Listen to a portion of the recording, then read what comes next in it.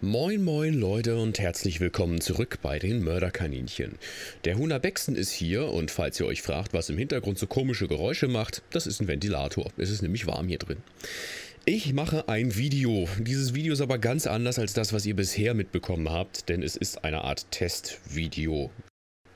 In letzter Zeit haben mich nämlich mehrere Leute angeschrieben, die mir sagten, ey hör mal, deine Videos sind bei uns überhaupt nicht in der Abo-Box aufgetaucht. Ähm, ich kann natürlich nicht nachvollziehen, ob das stimmt, aber sowas nehme ich sehr ernst, denn ich mache die Videos ja nicht für mich, sondern ich mache die für euch und da wäre es natürlich blöde, wenn die nicht in der Abo-Box auftauchen, zumal ich weiß, dass viele Leute sich zum Beispiel auf das Airbus-Coaching freuen. Da gab es innerhalb der letzten zwei Wochen drei Teile zu. Ähm, ich muss dazu sagen, es natürlich kann auch sein, dass euch das alles überhaupt nicht interessiert, aber die Aufrufzahlen davon sind ultra, also wirklich ultra gering. Das kann natürlich daran liegen, dass ihr die Videos einfach nicht gucken wollt. Ne? Ich möchte hier natürlich nicht den Teufel an die Wand malen und sagen, äh, die Leute gucken meine Videos nicht mehr oder irgendwie sowas. Es kann natürlich sein, dass es ein berechtigtes Interesse von euch daran gibt, diese Videos nicht mehr zu schauen. Das ist dann auch komplett legitim. Mich wundert es halt aber nur, weil es komplett anders ist als sonst eben. Ich erkläre es auch gleich nochmal, warum genau, warum die Aufrufzahlen so extrem niedrig sind, weiß ich nicht, aber sie sind im Vergleich zu sonst extrem niedrig.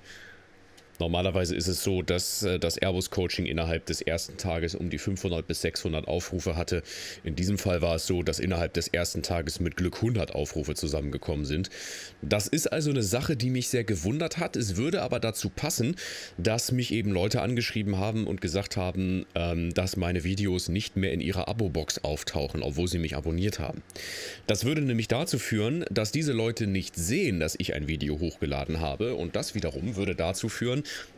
das, weil sie es nicht sehen, es eben nicht gucken können. Das würde die Aufrufzahlen erklären. Das ist also irgendwas, was so zusammenhängt. Das mit den Aufrufzahlen, das erwähne ich jetzt nicht, um zu sagen, Leute, guckt mehr meine Videos, ist absoluter Quatsch. Wenn ihr die nicht gucken wollt, dann guckt die auch nicht. Aber es würde halt passen, denn wenn ganz viele Leute die Videos nicht in ihrer Abo-Box haben, dann gucken sie die halt auch nicht, zumindest nicht direkt, weil sie es einfach nicht mitkriegen, dass ich ein Video hochgeladen habe. Und genau das spiegelt sich dann eben auch in den Aufrufzahlen wieder, denn die Aufrufzahlen sind dann eben geringer als sonst und das ist eben das, was ich derzeit beobachte. Es würde also tatsächlich zusammenpassen, wenn die Leute mir sagen, die Videos sind nicht in der Abo-Box, und deswegen werden sie dann eben nicht geguckt. Kann natürlich auch sein, dass ihr, wie gesagt, ein berechtigtes Interesse daran habt, sie nicht zu gucken. Ne, wie gesagt, wäre völlig legitim. Mich interessiert es halt einfach nur, woran das denn liegt. Ne, weil, wenn es tatsächlich daran liegt, dass irgendwelche Fehler in den Videos sind oder ihr irgendwas nicht, nicht mögt, wie auch immer, würde es mich natürlich brennend interessieren, was das denn ist, damit ich es abstellen kann. Weil das bringt euch ja nichts, wenn in den Videos irgendwas passiert und ihr denkt, oh, was ist das denn für eine Scheiße? Und dann guckt ihr die nicht mehr. Ohne mir aber zu sagen, warum, weil das ist halt für euch und für mich gleichermaßen Kacke. Die Sache ist nur, dass es mir halt aufgefallen ist, dass irgendwie die Aufrufzahlen extrem in den Keller gegangen sind in letzter Zeit, also die letzten zwei, drei Wochen circa. Nicht bei den Livestreams, sondern bei den Sachen, die in der Abo-Box landen. Und deswegen mache ich das jetzt hier auch als Video und nicht als äh, diese Community-Funktion. Ich mache das hier als Video, weil ich euch ein paar Sachen fragen möchte. Ähm, ich bitte darum, mir die ehrlich in den Kommentaren zu beantworten, weil ich gerne wissen würde, äh, was da los ist. Ähm, ich habe auch den Support schon angeschrieben, bis jetzt aber noch keine zufriedenstellende Antwort erhalten. Das sind so Geschichten, die interessieren mich halt. Ähm, weil ich gerne wissen würde, was da los ist. Oder ob da überhaupt was los ist. Vielleicht bilde ich mir den ganzen Kram ja auch nur ein, das kann ja auch sein. Jedenfalls haben mich halt diverse Leute angeschrieben und ich nehme ja die, die Sorgen meiner Zuschauer ernst und deswegen würde ich halt gerne wissen, ähm, wie ihr das seht, ob das bei euch genauso ist. Die Sache ist ja, ich mache die Videos ja nicht jedenfalls nicht 100% für mich. Ich meine, ich habe da Spaß dran, deswegen auch irgendwie für mich, aber es ist halt hauptsächlich für euch, weil euch die Videos was bringen. Das ist der Hauptsinn dieses Kanals. Wenn die jetzt aber nicht in eurer Abo-Box auftauchen und ihr nicht wisst, dass ich Videos mache, ist das natürlich kacke und deswegen würde mich das halt brennend interessieren. Daher habe ich ein, zwei Fragen an euch. Und ohne da jetzt wirklich noch mehr drumherum zu reden, weil es schon fast drei Minuten dauert, jetzt mal eben ganz kurz vorneweg. Die erste Frage, habt ihr diese Videos gesehen? Also landen die tatsächlich bei euch in der Abo-Box? Das ist Teil 1, 2 und 3 des A319 Coachings und das letzte Video habe ich gestern hochgeladen. Das ist der Beautiful Excellent Weather Takeoff in Southampton. Ähm, wie gesagt, landen die bei euch in der Abo-Box, ist meine Frage. Die zweite Frage ist, wie seid ihr auf das Video gekommen? Seid ihr über die Abo-Box auf das Video gekommen oder darüber, dass ihr auf meinen Kanal gegangen seid und geguckt habt, habe ich was hochgeladen oder nicht? Es kann ja auch sein, dass ihr nicht benachrichtigt worden seid und dann heißt es, warte mal, der hat ja jetzt schon seit zwei Wochen kein Video mehr hochgeladen. Was ist da denn los? Da gucke ich mal nach und dann sehe ich, oh, warte mal, da sind ja neue Videos. Warum habe ich das denn nicht mitbekommen? Ne? Das kann ja auch sein. Und deswegen würde es mich halt sehr interessieren, wie seid ihr auf die Videos gekommen und die dritte Frage ähm, bezieht sich hauptsächlich darauf, ähm, auf die Werbung der Videos. Das ist nämlich noch ein Punkt. Der Kanal ist monetarisiert, ja, auch wenn ich damit nichts verdiene, aber er ist monetarisiert. Und es geht mir hauptsächlich darum, wann und wo Werbung ausgespielt wird. Die Sache ist nämlich, dass YouTube mir das nicht anzeigt. Und mich interessiert das deswegen, weil mich Anschriften erreicht haben, die gesagt haben, hör mal, mitten in der, in der Mitte deines Videos ist Werbung, die nervt, mach die weg. Das Problem ist, ich habe überhaupt keinen Einfluss darauf, wann da wie Werbung geschaltet wird, was unter anderem auch damit zu tun hat, dass ich keine Werbung schalte.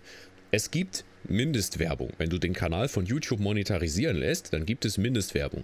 Die wird irgendwo im Video geschaltet das heißt, du kannst sagen, ja, monetarisieren. Und wenn du nur diese Einstellung wählst, hast du überhaupt keinen Einfluss darauf, wie die Werbung geschaltet wird. Es wird also irgendwo wie äh, Werbung geschaltet. Zusätzlich dazu kannst du, wenn das Video über 10 Minuten lang ist, tatsächlich auch noch festlegen, wo Werbung geschaltet wird. Das mache ich nicht. Etwas derartiges gibt es auf meinem Kanal nicht und wird es auch nicht geben. Wenn ich es verhindern kann, dass Werbung in der Mitte von Videos erscheint, dann werde ich das verhindern. Ganz klare Sache. Das sind Tutorials, also Videos, die euch was bringen sollen. Das ist der Sinn dieser Videos und wenn da Werbung in der Mitte ist, dann ist das nicht nur ultra extrem nervig und da spreche ich aus eigener Erfahrung, sondern man kommt auch komplett aus dem Videoflow raus. Es bringt einem überhaupt nichts, man ist am Ende genervt und so weiter. Das ist definitiv nicht der Sinn dieser Videos, nicht der Sinn dieses Kanals und vor allen Dingen ist es was, was ich überhaupt nicht möchte, denn das bringt euch nichts und mir auch nichts, denn dann guckt ihr die Videos nicht mehr und ich kann kann das Ganze gleich einstampfen, um es mal ein bisschen übertrieben zu sagen, aber ich glaube, ihr wisst, was ich meine. Und da mich jetzt halt mehrere Anschriften erreicht haben, die sagen, ey, hör mal, das geht nicht so, da ist Werbung in der Mitte, die nervt, die kann man nicht überspringen oder das dauert irgendwie fünf Minuten und da ist man dann komplett aus dem Flow raus. Ähm, ja, äh, das finde ich halt selber kacke, weil ich mache halt extra keine Werbung in die Videos rein. Ne? Also wenn die Videos über 10 Minuten lang sind, das lasse ich selber komplett raus, eben damit sowas nicht passiert. Die Leute sollen was vom Video haben und nicht mittendrin Werbung gucken müssen, das ist Unsinn.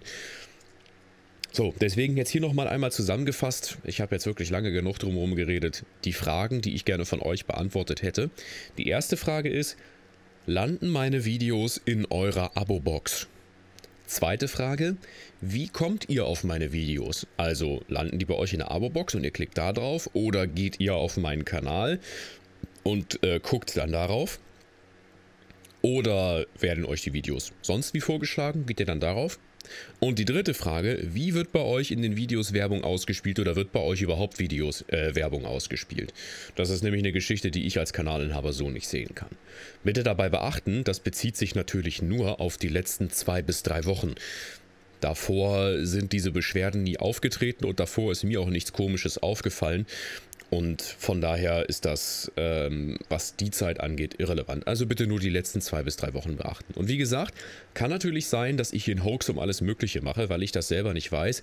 Vielleicht gehen die Leute auch lieber raus bei dem Wetter und gucken deshalb meine Videos nicht. Ich weiß es nicht, aber es würde mich halt einfach nur interessieren. Deswegen bitte ich um die Beantwortung dieser Fragen. Ansonsten entschuldige ich mich dafür, dass ich euch so lange zugetextet und genervt habe. Ich wünsche euch noch ein wundervolles Restwochenende. Genießt das tolle Wetter. Es soll ja leider wieder schlecht werden. Bis dahin, macht's gut.